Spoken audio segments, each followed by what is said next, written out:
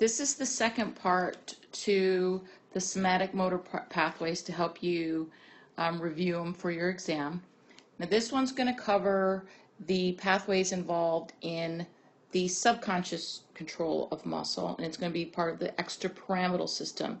They're going to be referred to as the medial and lateral pathways. We're only going to look at one tract in the lateral pathway, and we're going to look at three in the medial pathway. Now, if you notice here, the these pathways, the upper motor neuron of all of them will be located somewhere within the brainstem.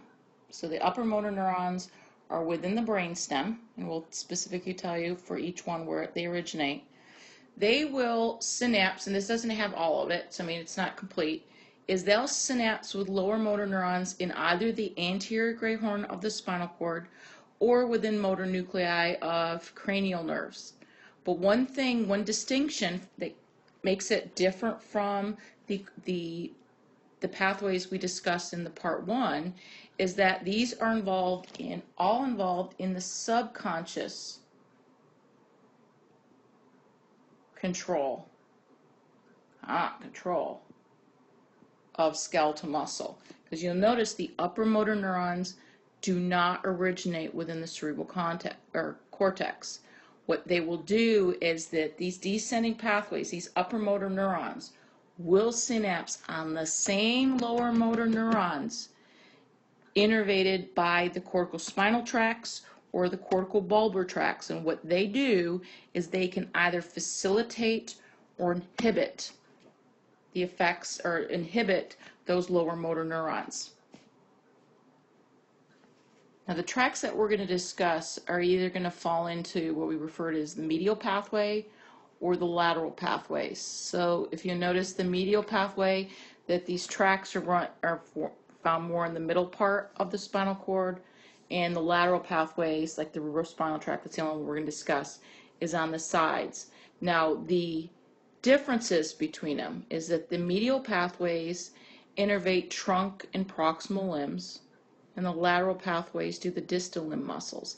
Now, I forgot to remind you about the the innervation of the uh, muscles in, involved in the lateral cortical spinal tract and the anterior cortical spinal tract, but they're very similar. Lateral cortical spinal tract, which is found in the lateral white columns, that also again innervates distal limb muscles.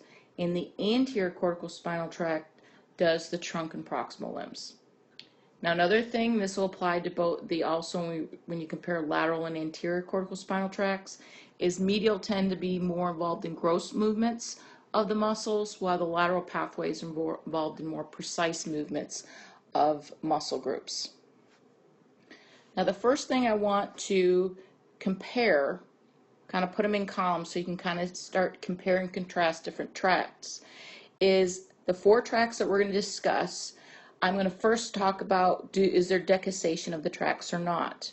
So the two on the left, we say the tectospinal tract and the rubrospinal tract, those do not decussate. The axons do not cross, or sorry, they do cross over.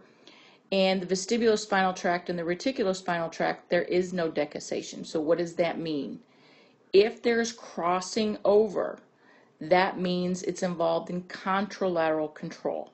So if the upper motor neurons originate within the left side of the brain, they will control the right side of the body and vice versa. But if there's no decussation, it's ipsilateral control. Left side controls the left side and the right side controls the right side. So that's the first thing that I want to, to show you. Now second thing is knowing where those upper motor neurons are located. All four tracks the upper motor neurons are within the brainstem. So they do not originate in that primary motor cortex, just slight, maybe slightly different regions. Vestibulospinal tract, the upper motor neurons, the cell bodies are within the pons and medulla. The reticular spinal tract, the reticular formation, which is all along the brainstem. And the last two are found within the midbrain. Tectospinal tract within the corpora quadrigemina, and the rubrospinal tract within the red nucleus because remember rubro means red so also I might as well kind of do it right here is these three are part of the medial pathways. This one is part of the lateral pathways. Where are the lower motor neurons for these? Well, the vestibular spinal tract and the tectospinal tract, lower motor neurons may be located in the motor nuclei of cranial nerves if it's affecting anything to do with the head or the neck. All of them, lower motor neurons, be, can be found in the anterior gray horns of the spinal cord. The only difference is that these last two tracks is those tracks only go as far as the cervical spinal cord, so they do not descend any further. Vestibular spinal and reticular spinal tracks go all throughout, descend all throughout the spinal cord. Now, the first one, tract, was like, what's the overall function of these? Well, the vestibular spinal tract, it's all, think this, uh, the vestibule in the inner ear. It's involved in equilibrium. So this will help you with help helping with balance, support posture. If you start to lose your balance, this tract will help you move your even your eyes, your limbs, your head to help you to maintain your balance. It also will be involved in altering muscle tone. Now this information ultimately originated from information that came from the vestibular cochlear nerve. So it will say, hey, something's up with balance, and so you, you'll change and move your body to help you to maintain your balance.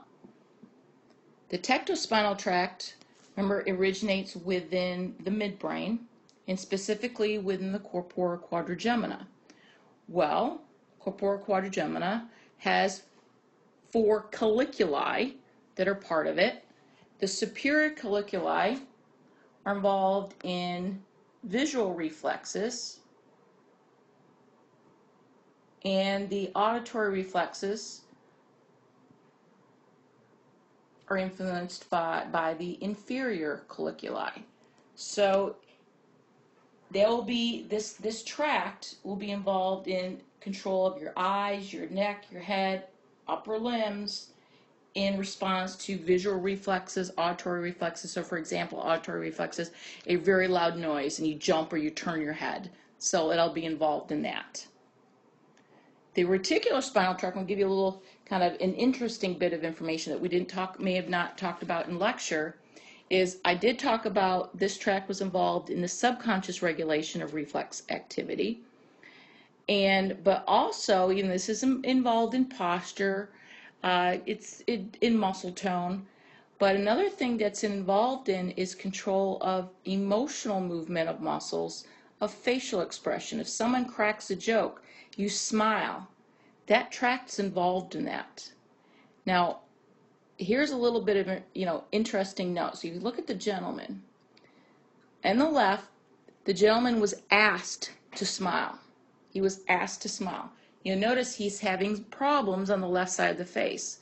Well, he had a damage to his cortical bulbar tract. So involving the facial nerve.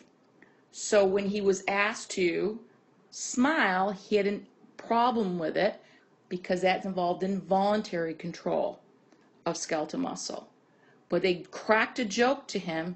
He had no trouble smiling because the reticular spinal tract is at the subconscious level. So that is pretty interesting that that happened. Now the last tract is the rubrospinal tract. So this originates in that red nuclei in the midbrain, and that helps to control muscle tone again. This descent, this this oh, sorry, this also is involved in precise movements of distal muscles, but just of the upper limbs because it only descends to the cervical spinal cord. So this will be the end of the second part of the webinar.